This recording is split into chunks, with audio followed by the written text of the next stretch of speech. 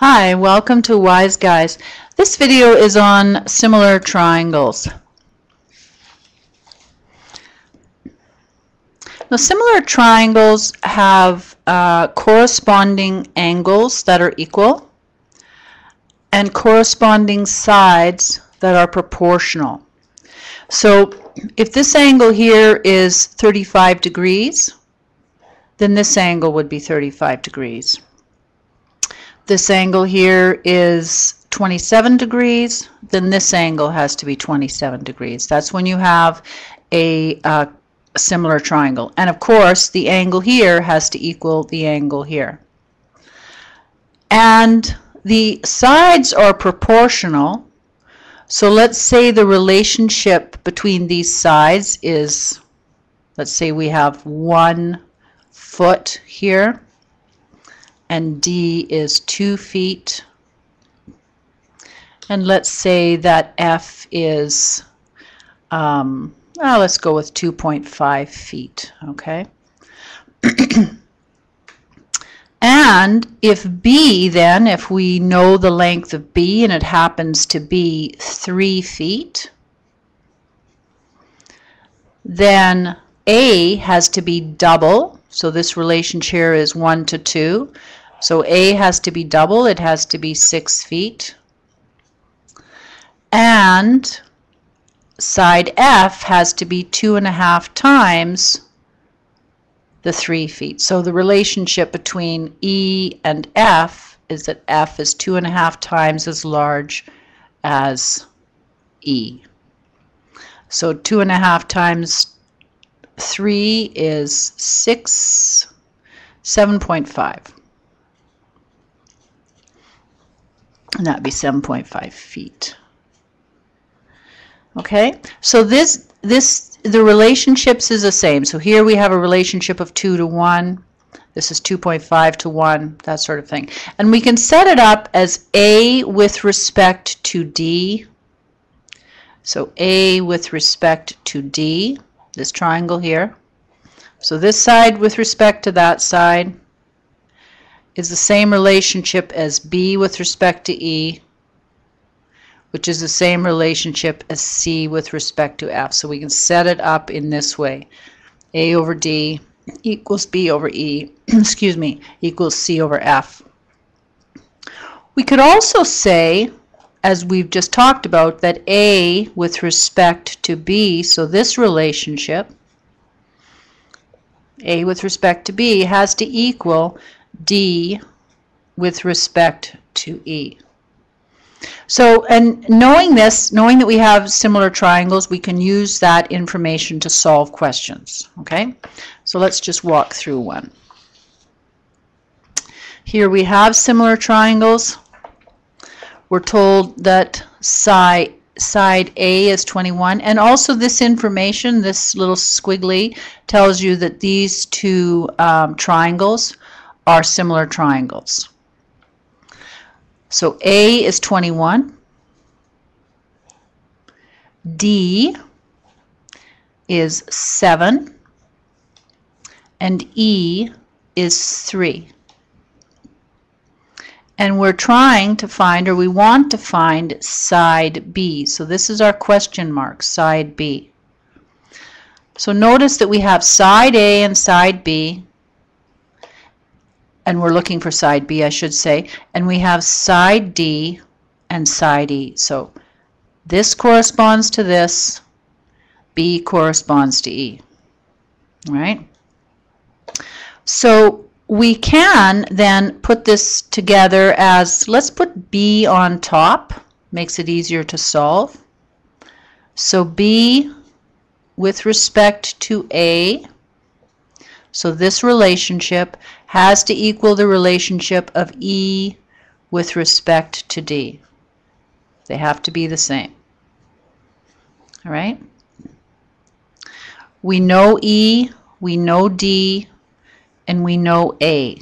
With that information, we can solve for B. So let's just set this up. We have B over A, which is 21 which equals E, which is 3, over D, which is 7. We're solving for B. So what we do is multiply this side by 21, just so we can get the 21 out of here.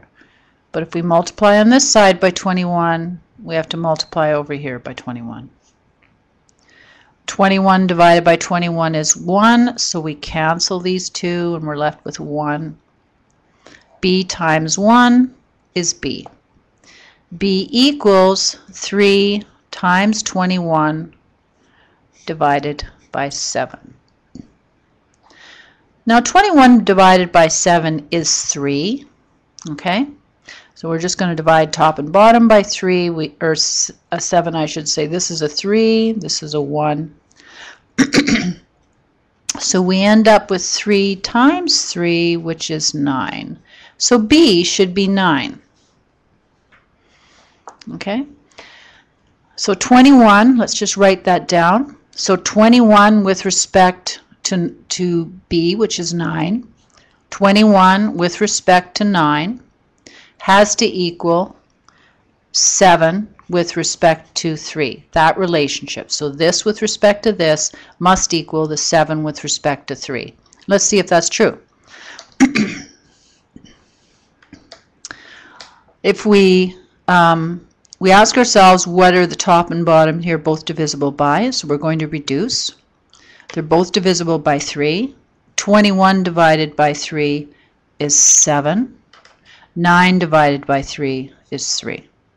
So these two are in fact equal and we have solved for b and b is 9. Okay. Next question.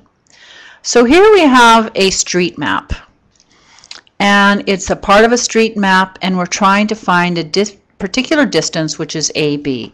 So we're looking for this distance right here. Okay? So the relationships between this piece and this piece has to equal the relationship between this distance and this distance. Again, they are similar, um, not necessarily similar triangles, but similar relationships. If we turn this into a triangle, right? Okay, this is in fact our triangle. This side, this side with respect to this side has to equal this side with respect to this side. Okay, so then we can say, um, which one's the unknown distance? Okay, A to B. So A to B with respect to 64 has to equal 132.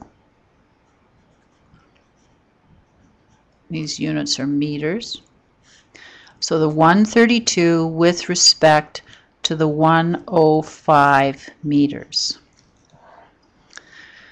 So again, this distance with respect to this distance has to equal this distance with respect to this one. This is our 105. This is our 64. And that's how we set it up. And our unknown, we I've set it up so the unknown's in the numerator, so it's a little easier to solve. Okay. Now let's just walk through the steps and solve for AB. I'm going to multiply this side by 64 meters and multiply this side by 64 meters. On this side, 64 meters divided by 64 meters is 1, so they cancel. So we have AB equals 132 meters times 64 meters divided by 105 meters. Our meters will cancel here, so we're left with the units of meters. So now let's just pull out the calculator. So we're taking 132, multiplying it by 64, and divide by 105 equals 80.45. I'm just checking my numbers, 132 times 64 divided by 105. Okay, so 80.45. So we end up with 80.45, and that is meters. And let's take a look at our significant figures here. We have 3 here, 3 here, and 2 here.